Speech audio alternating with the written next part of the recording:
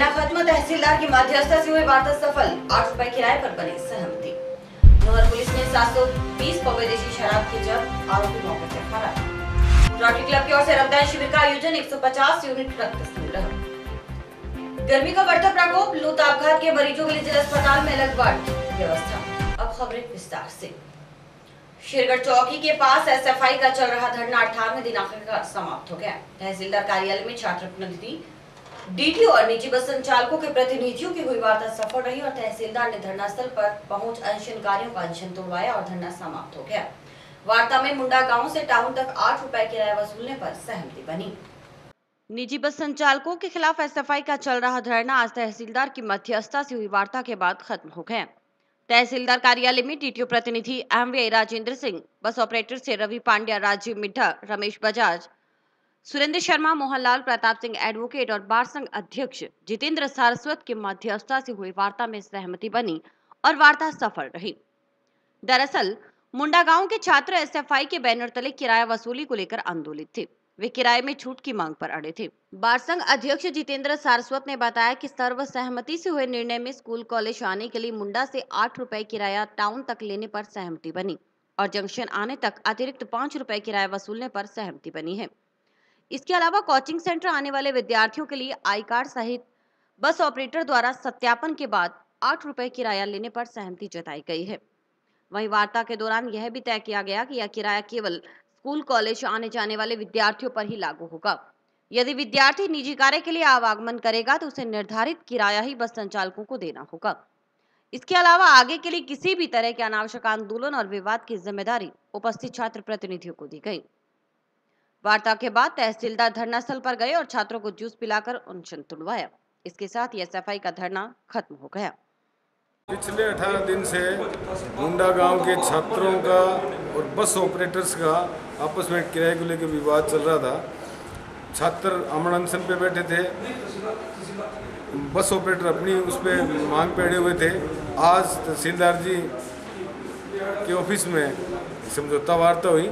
जिसमें bus operators की तरफ़ से रवि वधवा राजीव मिड्डा, रमेश बजाज और छात्रों की तरफ़ से सुरेंद्र जी शर्मा और ये मोहनलाल जी और बस ऑपरेटर्स की तरफ़ से प्रताप सिंह जी, शेखावत एडवोकेट, हम लोग सारे शामिल हुए।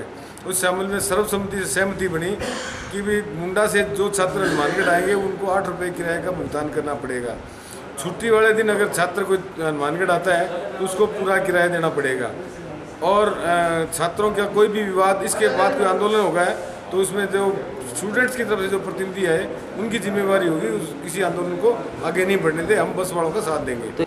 सहमति, ये बस ऑपरेटर्स और अपने डी साहब के प्रतिनिधि श्री रामचंद्र जी एम और जितेंद्र जी सार एडवोकेट बार संघ के अध्यक्ष और, ये बस ऑपरेटर्स वगैरह, ये वो सुरेंद्र जी कॉमरेड वो आए हैं। सबके सहमति इस प्रकार हुई है कि मुंडा से आठ रुपये एक तरफ़ का किराया वसूल करेंगे। उसमें जिस दिन बच्चे स्कूल आएँगे, उसी दिन किराया वसूल किया जाएगा। जिस दिन स्कूल या कॉलेज में छुट्टियाँ होंगी, उस दिन उनसे पूरा किराया वसूल किया जाएगा। करीब उन्नीस दिन से शेरगढ़ चौकी पर बच्चे आमनसन पर बैठे थे। पहले आमनसन किया, उनकी तबीयत खराब हुई उनको उठा लिया गया। लेकिन आज प्रशासन तहसीलदार जी के नेतृत्व में आज बैठ के यहाँ जितेंद्र भाई साहब एडवोकेट साहब और बस ऑपरेटर प्रताप जी और हम सारों बैठ के, क्योंकि काफ़ी लू गर्मी की वजह से बच्चे आमंत्रण पर बैठे हैं तो हमें इस बात की चिंता है भी कल को नुकसान हो जाएगा। तो बस ऑपरेटर से बैठ के हमारा ये तय हो गया, भी आठ रुपये किराया देंगे शेरगढ़ के, तेरह के एस पी और अपने मुंडा तक का हमारी तय हुई है जो आगे का मेरवाड़े का जो है टाउन तक का जो मुंडे का आगे है मेरवाड़े का दस से वैसे रहेगा। उसके अलावा जिस दिन छुट्टी होगी उस दिन बच्चा अगर कोई आएगा तो उसका निम्न पूरा किराया देगा। जो समझौता हुआ है मुंडा से हनुमानगढ़ टाउन का जो छात्र पीजी कॉलेज सरकारी स्कूल के अंदर पढ़ता है उसका आठ रुपये टाउन तक का किराया अगर वो जंक्शन जाएगा तो उसका पाँच रुपये एक्स्ट्रा किराया देंगे। तहसीलदार साहब के सामने ये मतलब हमारी ये ये मैं की जीत हुई है। विद्यार्थी जीता है, प्रशासन झुका है। हम लगातार अठारह दिन से पचास डिग्री सेल्सियस तापमान में और बैठे रहे निजी बसों की मनमानी के खिलाफ। आज प्रशासन झुका और तहसीलदार जी द्वारा और प्रशासनिक अधिकारियों द्वारा आज विद्यार्थियों को जो कर्मिक अनशन और अनशन से और धरने से जो विद्यार्थी बैठे जूस पिला करके आज अनशन छुड़ाया और निजी बसों की जो मनमानी है उन पर रोक लगाने और तमाम जो समस्याएँ थी, हमारी मांग थी, उन मांगों को तुरंत समाधान करने की मांग की और ओवरलोडिंग जैसे साधन हैं उन पर रोक लगाने के लिए और सख्त निर्देश दिए डीटीओ, जिला परिवहन विभाग को। नौहर थाना पुलिस ने कार्रवाई करते हुए 720 पौवे देशी शराब जब्त की है। एएसआई विनोद सहू के नेतृत्व में न्योलखी फाटा के पास हुई कार्रवाई में बोलेरो गाड़ी से 720 पौवे शराब बरामद हुई। जबकि आरोपी अमरचंद मौके से फरार हो गया। आरोपी अमरचंद के खिलाफ आबकारी थाना नोहर में मामला दर्ज कर जाँच शुरू कर दी गई है।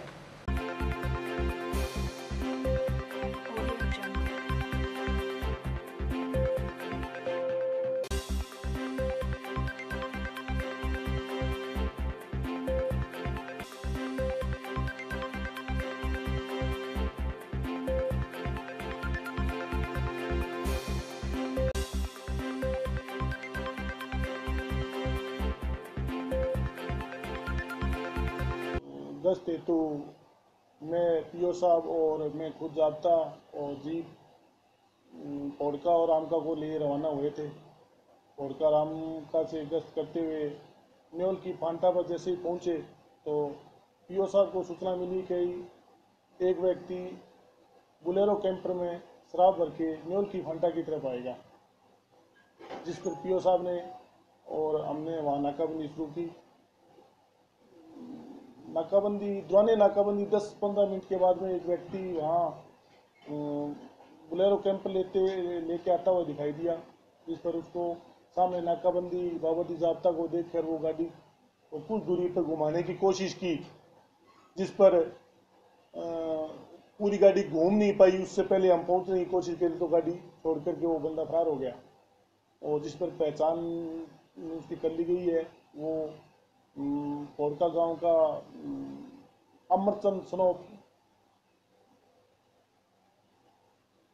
खूबराम जाति जाट है उसकी पहचान हो गई है और पूरी मौके पर गाड़ी को कब्जे में लेके वो तलाशी ली गई तो उसमें पंद्रह गत्ता कार्टन भरी शराब मिली जिसमें सात सौ बीस पूरे राजस्थान देसी शराब के थे। मौके पे कार्रवाई की गाड़ी को जब्त कर दी। संबंधित अमरचंद के खिलाफ आबकारी अभियोग दर्ज किया गया। और गाड़ी को कर थाना जा लिया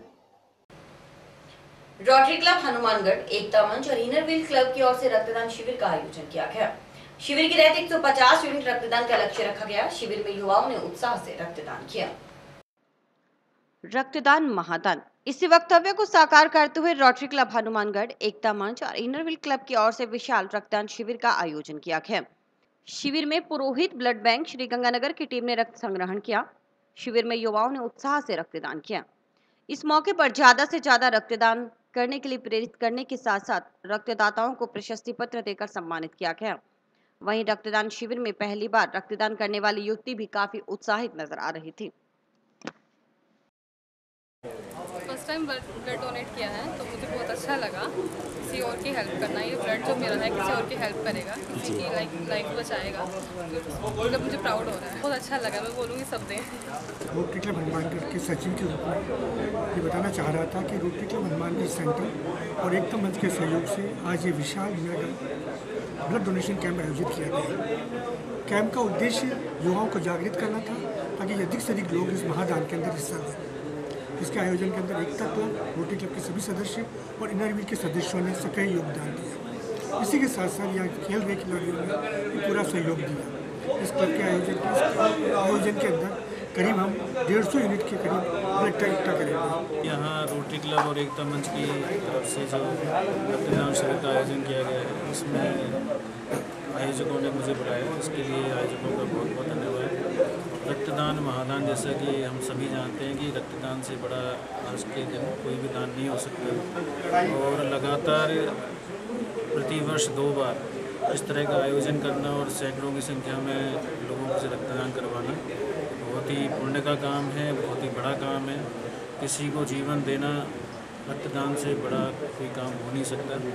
मैं सब एक विविध कार्य के लिए आयोजकों को बहुत बहुत धन्यवाद देता हूँ और आगे भी इसी तरह के आयोजन निरंतर आयोजित करते रहें, ऐसी मेरी शुभकामनाएँ रहेंगी।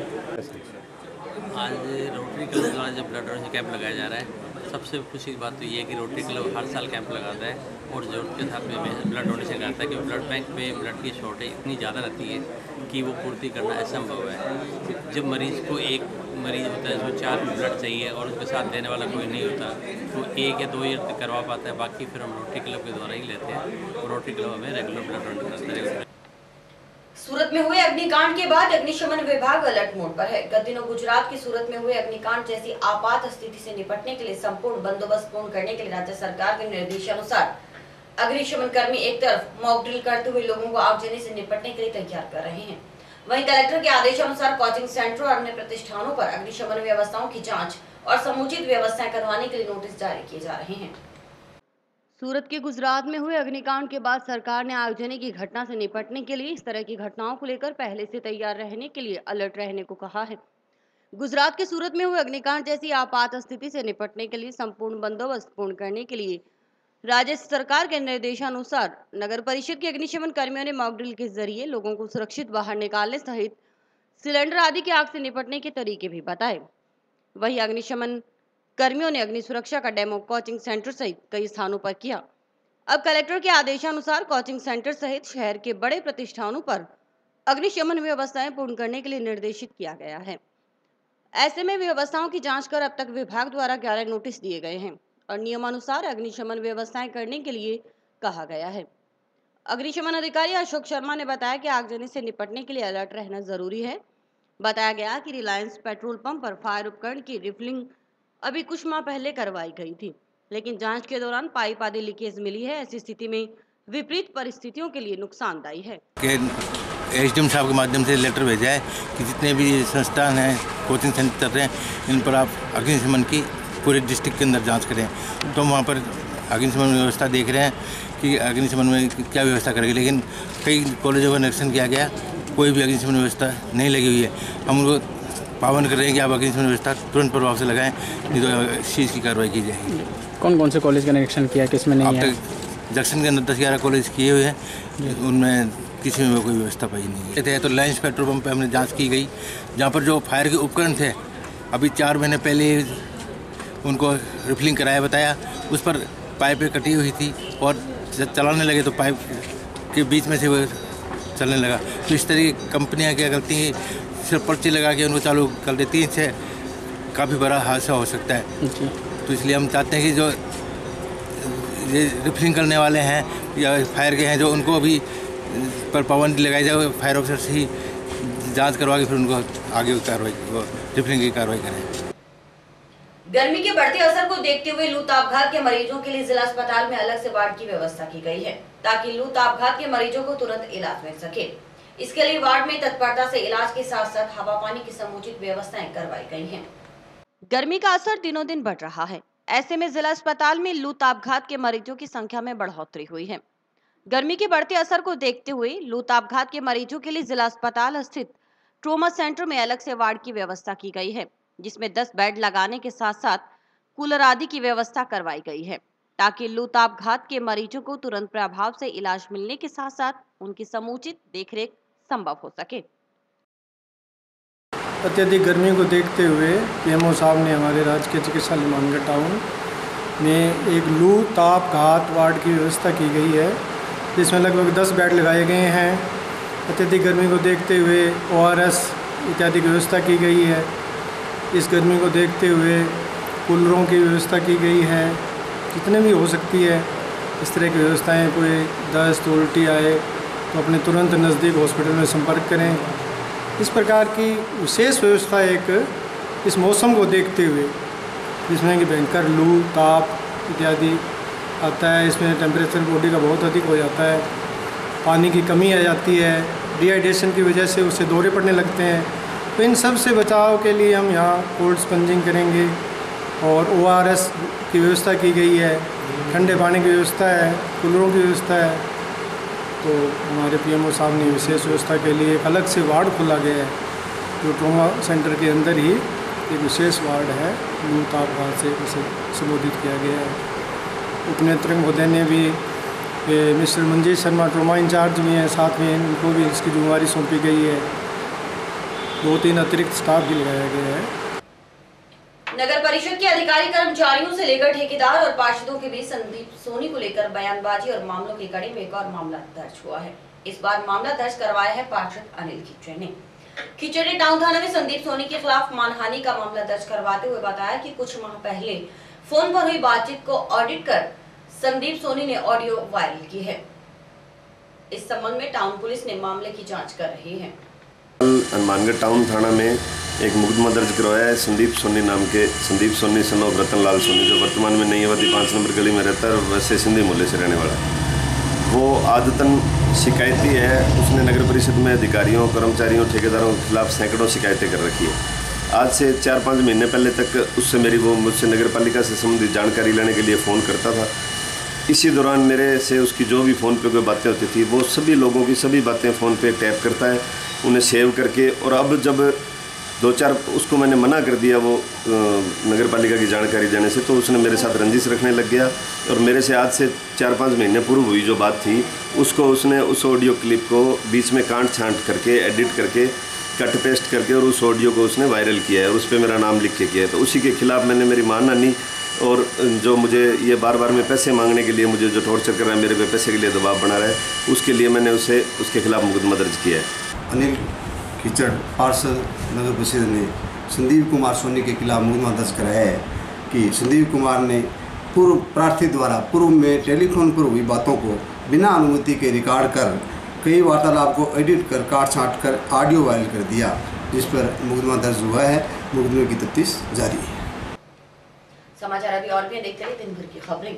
Baby Happy Modern PG College, a brand for quality education. Students के करियर को ध्यान में रखते हुए विभिन्न प्रकार के कोर्सेज करवाए जाते हैं जैसे BSc, BCom, BCA, BA, MSc Chemistry, Physics, Botany, Zoology, Mathematics, Computer Science, MCom, ABST, MA Geography, Sociology, Punjabi महाविद्यालय स्टाफ की कड़ी मेहनत से गत छह वर्षों के परीक्षा परिणाम में 145 विद्यार्थियों ने महाराजा गंगा सिंह विश्वविद्यालय की वरीयता सूची में स्थान प्राप्त कर एक नया कीर्तिमान स्थापित किया है। महाविद्यालय कॉरपोरेट वर्ल्ड को ध्यान में रखते हुए समय समय पर विद्यार्थियों के लिए करियर गाइडेंस सेमिनार आयोजित करवाता है। महाविद्यालय में सभी प्रायोगिक विषयों की सुसज्जित लेबोरेटरीज प्ले तथा ट्रांसपोर्ट आदि की सुविधाएँ उपलब्ध हैं।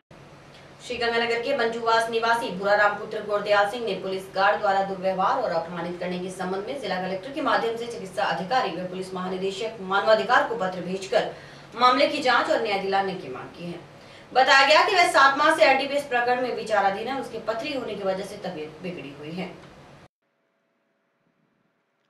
जिला कारागृह में भूराराम सात माह से एनडीपीएस के एक मामले में विचाराधीन है। जेल में आने से पहले उसकी रीढ़ की हड्डी के पास पथरी है, जिसका इलाज चल रहा था। पिछले एक महीने से तबीयत खराब है। बताया गया कि इलाज के संबंध में जेलर से परिजनों को पुलिस गार्ड के लिए भरोसा दिलाया गया और पुलिस गार्ड काट दी गई। लेकिन पथरी की वजह से लगातार इलाज की ज़रूरत है और सुनवाई नहीं होती। इसी तरह से उसे एक बार बीकानेर भी ले जाया गया। वहाँ पर भी इलाज पूरा नहीं करवाया गया और अपमानित शब्दों के साथ उसे वापस ले आए।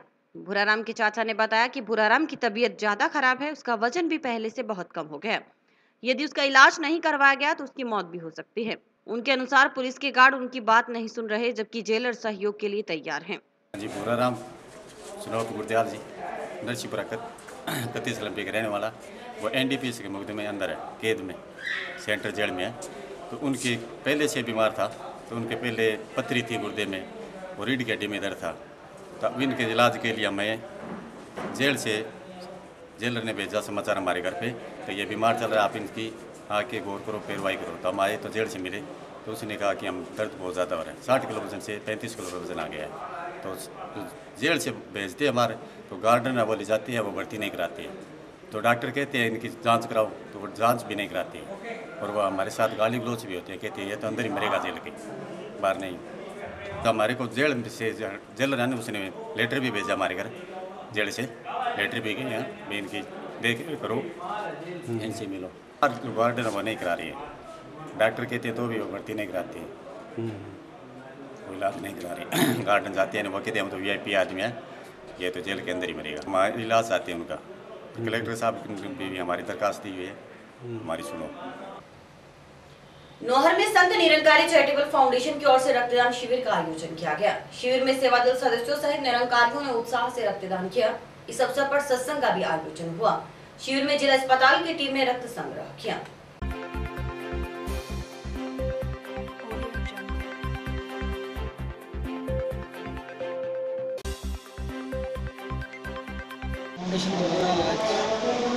रक्तदान शिविर लगाया जा रहा है, जिसमें काफ़ी तादाद में सेवा दल के वॉलेंटियर और सेवाएँ दे रही है।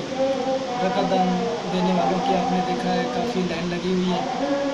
और साथ साथ सत्संग का भी आयोजन हो रहा है, जिसमें हमारे जोन इंचार्ज महात्मा श्री धर्मपाल जी टक्कर, जिनकी हजूरी में ये प्रोग्राम हो रहा है। और आप, अब तक सत्तर यूनिट जो है ब्लड डोनेट हो चुका है, जो हनुमानगढ़ महात्मा गांधी चिकित्सालय द्वारा रक्त संग्रह किया जा रहा है। और भी आप देख रहे हो कि समाज के अंदर ऐसी सेवाएँ निरंकारी मिशन करता रहा है। तेईस फरवरी को एक एस आई अभियान गवर्नमेंट चिकित्सालय में चलाया गया। उससे पहले बस स्टैंड, रेलवे स्टेशन के अंदर भी ऐसा अभियान चलाया गया। साथ साथ अपने वृक्षारोपण भी किया गया। तो ऐसे ही सामाजिक कार्य समाज के अंदर संघ निरंकारी मंडल, चैरिटेबल द्वारा ऐसे कार्य होते रहते हैं। गाँव कर्णिसर निवासी रणवीर सिंह के साथ जमीनी विवाद को लेकर मारपीट हुई, जिससे वह चोटिल हो गया और जिला अस्पताल में उपचाराधीन है। बताया गया कि ठेके की ज़मीन पर खंबे आदि को लेकर विवाद में बलकर्ण सिंह द्वारा की गई मारपीट में वह चोटिल हुआ है। इस संबंध में सदर पुलिस ने पर्चा बयान लिए हैं। पुलिस आगे की कार्रवाई में लगी है।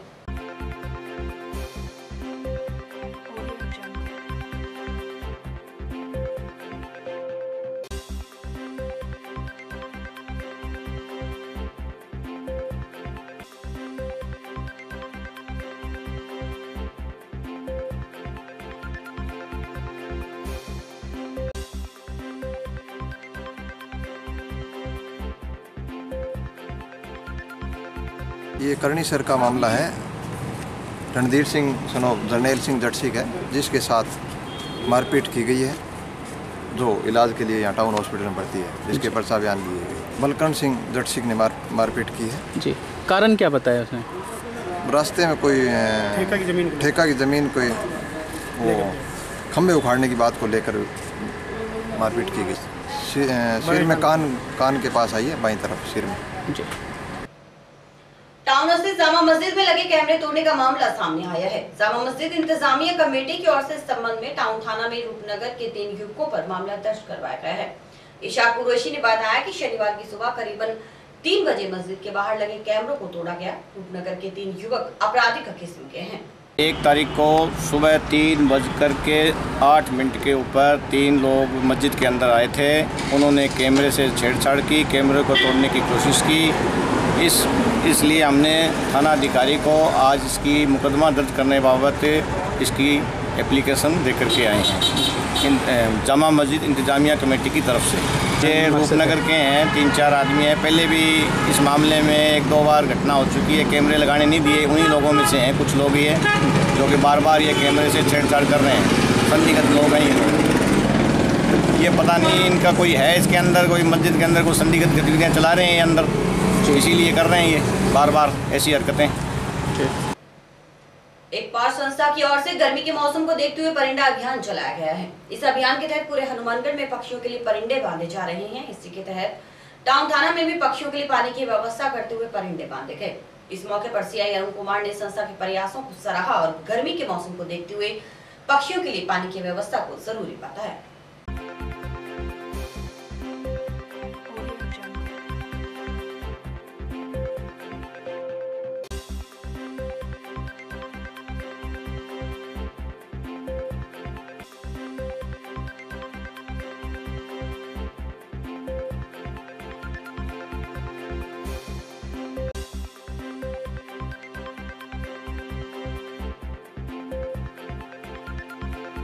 दस डिग्री तापमान में इतनी गर्मी को देखते हुए एक पाश संस्था द्वारा ये जो परिंडे लगाए जा रहे हैं, ये बहुत ही अच्छा काम है। और ये यहाँ हमारे प्रदीप पॉल जी, संवाददाता द्वारा इनको ला करके यहाँ पर कार्य किया गया है। एक सराहनीय कार्य है। और इसमें हम परिंदे लगा के पानी डालेंगे, जिससे पक्षियों को पानी मिले एक पास जिसकी मुहिम 16 तारीख से जारी है कि हम जैसे हम सोचते हैं कि हमें भी प्यास लग रही है टेम्परेचर को देखते हुए वैसे हम चाहते हैं कि पक्षियों को भी प्यास लगती है तो उन्हें भी मरना ना पड़े इस प्यास की वजह से। तो हम टाउन और जंक्शन के सभी एरिया को कवर करते हुए आज टाउन के थाने में हमने परिंडे लगाए हैं और यहाँ प्रदीप जी, अरुण जी चौधरी ने इसकी सार संभाल का जिम्मा लिया है और हमारी यही कोशिश है कि ये हमारी मुहिम लगातार चलती रहे। संस्था द्वारा 16 तारीख से जो अभियान लगातार परिंदे मारने का जारी लगा, चल रहा था वो आज भी जारी है। आज हमने टाउन थाने में ये परिंदे लगाए हैं सीआईजी के नेतृत्व में और हमने उन्होंने सीआई साहब ने अपने स्टाफ को इसको कंटिन्यूस फॉलो करने के लिए या इनको संभाल के लिए जिम्मेवारी दी गई है। और हम पूरी कोशिश है कि पूरे हनुमानगढ़ में जल्द ही पंद्रह दिन के अंदर सारे एरियाज़ को कवर कर लिया जाएगा। और जैसे जैसे तापमान बढ़ रहा है पचास डिग्री से ऊपर टेम्परेचर पहुँच गया तो ये पक्षियों के लिए बहुत ज़्यादा ज़रूरी है। और ये मुहिम हमारी आगे भी जारी रहेगी। और इसके साथ समाचार समाप्त हुए। रोज़ाना देखते रहिए समाचार। नमस्कार।